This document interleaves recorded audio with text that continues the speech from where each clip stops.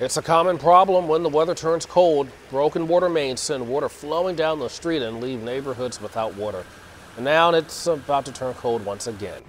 And we've already had a few major breaks since the winter began, like this one near the plaza from late November. Nearly a dozen businesses were left without water and many were forced to close. So one reason Kansas City seems to be prone to these types of problems, we're told, is the aging infrastructure. And some of those pipes are older than you think. KSHB 41 News reporter Grant Stevens is live at the spot where a water main break opened up a sinkhole just a few weeks ago. Grant, how's it looking right now?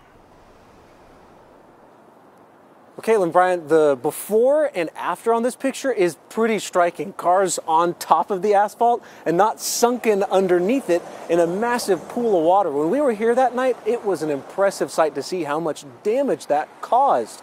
This is a prime example of the kind of issues the KC Water Department is facing and repairing every day. Winter months bringing cold weather brought an end to dozens of old, outdated pipes under KC streets. We have uh, over 2,800 miles of water line in the city, of which Four, over 476 miles of those are over 100 years old. The one that caused this mess was from the 1800s. It was a huge line that took huge priority. But the city's repair team is halved, down 56 workers, so not all breaks get fixed so fast. We have so many breaks, we are literally jumping from break to break to break, so we want to isolate the breaks, get the breaks done, move on to the next one separate crews come back in and do the restoration. Director of Water Services Wes Minder says maintenance took a back seat in years past, but a slow stream of rate increases has allowed his crews to do more preventative repairs. We had 1,800 water main breaks a year 10 years ago. Since then, we've replaced 250 miles of water line, or about 25 miles a year.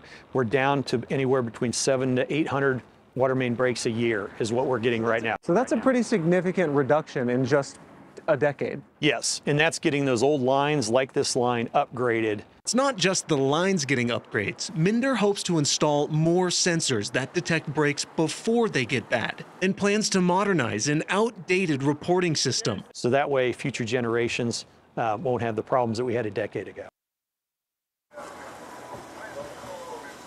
That reporting system, which he says could look a lot like the system Evergy uses to report outages and keep track of breaks, could be online within the next couple of months. In Kansas City, Grant Stevens, KSHB 41 News.